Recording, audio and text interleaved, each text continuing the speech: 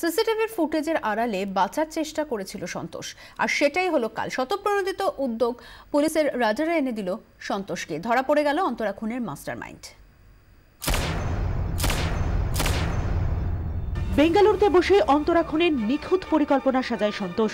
আগে থেকেই বুঝে যায়, খুনের পর অভিযোগ উঠবে তারই দিকে। তাই অ্যালিবাই হিসাবে জোগাড় করে রাখে খুনের দিনে তার কর্মস্থলে থাকার সিসিটিভি ফুটেজ। আর সেখান থেকেই আরও বেশি করে চলে আসে পুলিশ রাডারে পুলিশের সন্দেহ হয়, অন্তরা খুনের সঙ্গে কোনো সম্পর্ক না থাকলে কেন আগে ভাগে নিজেকে বাঁচানোর চেষ্টা করছে সন্তোষ?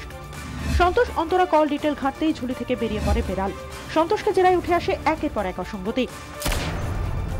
খুনের দিন সন্তোষ কেন অন্তরা রুমমেট ও সহকর্মীকে ফোন করে হাল হকিকত জানতে চায়?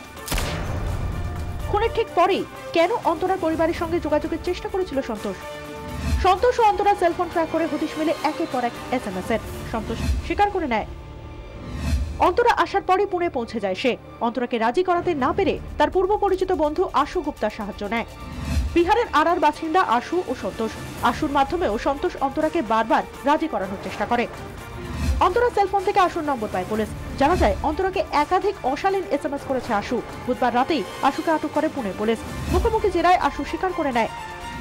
সন্তোষ আশুকে অন্তরার গতিবিধির ওপর নজর রাখার দায়িত্ব দিয়েছিল। পুলিশ নিশ্চিত হয়ে যায়, অন্তরার গতিবিধি নিয়ে আশুর দেওয়া তথ্যের উপর ভিত্তি করে খুনের ছক সাজায় সন্তোষ। অন্তরার গতিবিধি বিস্তারিত জানানো হয় পুনেতে থাকা তৃতীয় কোনো ব্যক্তিকে। খুনের রাতে সেই ব্যক্তি অন্তরার উপর প্রাণঘাতী হামলা চালায়। সন্তোষের দাবি অন্তরার জন্য তার আগের সম্পর্ক ভেঙে যায়। পুলিশের ধারণা, সেই আক্রোশ থেকেই সুপারি কিলার দিয়ে অন্তরাকে খুনের ছক কষে সন্তোষ। সুপারি কিলারের খোঁজে তল্লাশির পাশাপাশি খুনি ও সন্তোষের মাঝে তৃতীয় কেউ ছিল কিনা, এখন সেটাও খতিয়ে দেখছে পুনে পুলিশ।